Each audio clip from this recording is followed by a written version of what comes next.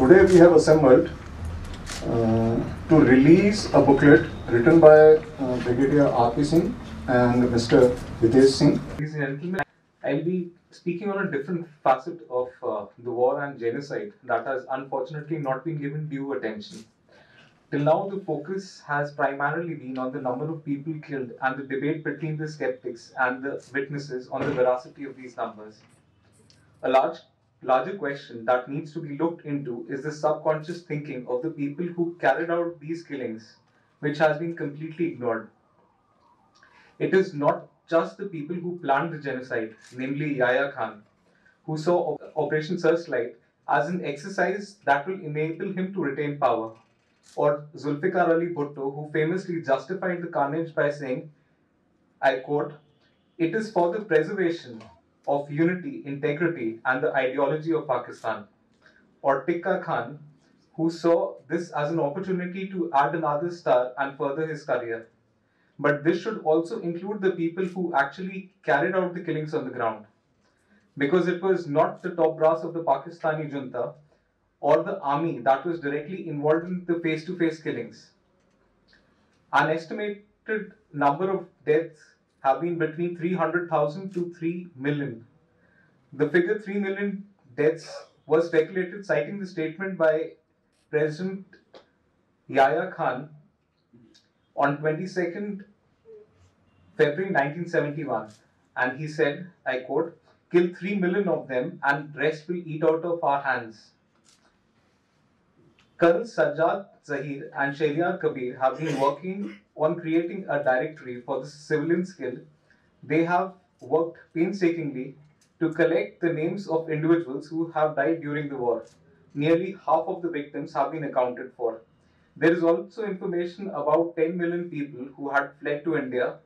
This has already been mentioned, but there, is, there was there were also 30 million people who went from cities to the villages during this time. And out of 75 million people, more than half the population was either displaced or killed. And this was only in a period of nine months. So even if we take out the median of 1.5 million deaths, the Bangladesh Liberation War would still be the deadliest genocide in the 20th century on account of the people who were killed on a daily basis. At this point, I would like all of you to think how many people would be involved in carrying out these killings. And I mean the people on the ground, not the planners. While trying to decipher these crimes, we are faced with two questions. What constituted the rank and file of the perpetrators? And second, what were the reasons for getting involved in these killings?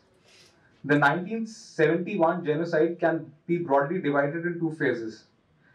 In the first phase, almost all the killings were carried out by the army, and this started from the midnight of 26 March and ended in uh, ended in May 1971. The second phase started from June 1st when Yahya Khan, uh, sorry, uh, it was not Yahya Khan, it was uh, Lieutenant General Tikka Khan who promulgated the ordinance of East Pakistan Razakars.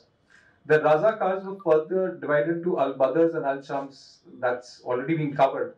But we need to understand the reasons for the hatred that allowed them to carry out these mass killings without showing any signs of moral dilemma.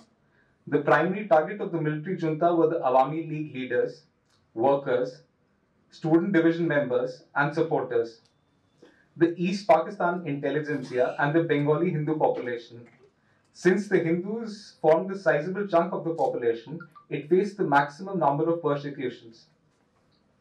Unlike their policy for other groups, the Pakistani army sought to murder every Hindu, regardless of age, gender, political beliefs, or actions. The military leadership was under the impression once the top leaders of Awami League and the Bengali intelligentsia were eliminated, the non-Hindu population can be brought back into the mainstream of United Pakistan. Concomitantly, it held the view that completely ridding East Pakistan of the Hindu presence will be beneficial for the idea of a united Pakistan. Although in reality Hindus posed no such threat. This propaganda is very similar to the anti Semitic propaganda carried out under the Nazi regime. In both the cases, the minority groups were systematically targeted. But the manner in which the deaths were carried out were completely different. One of the main reasons for setting up the death centers by the Nazis was due to the complaints from the army formation commanders that regular soldiers detested the killing of women and children when ordered to do so on the Eastern Front. Orders to execute unarmed civilians was having an, an adverse effect on their morale. Some soldiers even committed suicide as these killings led to an acute depression. Therefore, it was decided that the death factories will be set up to make killings more effective. At the same time, only a few soldiers will have to be spared for carrying out these killings. Once the camps were set up, the killings were carried out by handpicked men from the highly fanatical groups of the SS officers and soldiers, most of whom had been a part of Hitler Youth and brainwashed from an early age, which led to a moral disengagement and blaming of Jewish victims themselves for the killings. Later, during the trial, some of the guards said they felt it was their duty to kill Jews. It would have been wrong on their part if they did not do so. In contrast to the regular German soldiers, the Pakistan army showed no hesitation or penitence during the burn and kill missions. The regular soldiers of the Pakistan army had the same zeal and mindset to carry out these killings as the German SS. The fight for the Bangladeshi people was for having access to the resources, which was ironically found in East Pakistan and was used by West Pakistan for earning most of its foreign exchange. Moreover, right for better healthcare, right to access of better education facilities, and most importantly, the right for a greater say in political discourse of their country. The Pakistani junta did not just want the Bengalis not to have these rights, but to eliminate them completely, especially the Hindus, as they thought that it was the Hindus who had indirectly who were indirectly responsible for these demands. Witnesses and victims often narrated that the soldiers enjoyed being part of these killings. Sidney H. Schanberg's report, which narrated the Bangladesh carnage, was published in New York Times on 7th April. In this, he gave a detailed account of the foreign evacuees of Pakistan Army's atrocities on the innocent civilians, burning of slums, houses, torture, arson, looting. Here, one foreign evacuee had observed they seem to be enjoying and destroying. Many Bengalis have been killed. In the river just four days ago, you could count 400 bodies floating in one area. Unquote. I particularly mention this quote because it comes from a neutral observer, an American residing in Dhaka at the time. Other foreign witnesses also endorsed his view. The army could have let a lot of refugees cross over to India, but that did not happen. The soldiers went out of the way to kill unarmed refugees before they would cross over to India. In a lot of cases, the refugees were shot near the border while crossing to India.